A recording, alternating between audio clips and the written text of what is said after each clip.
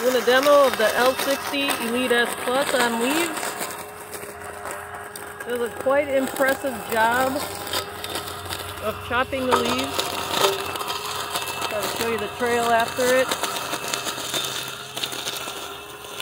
But, uh, you know, the leaves will have to be dry. These things do not suck the, they don't have any kind of suction to suck things up into the, into the blade. However, the blade can be set very low. It's actually in a fixed position on an L60 at uh, around 2 inches grass height. For our other models, it can be adjusted lower, and that will make the blade come in contact with the leaves uh, much more easily. L60 uses humidity sensors, does not use the perimeter wire, so it's a wire-free robot. For small yards, manually charged. There's also a 20ZR that has a guide wire to go back to the base, but no perimeter wire, also using humidity sensors. Um, so we got a lot of different models that can work just about for just about anybody. So check out the L60, it's a great little machine for small yards.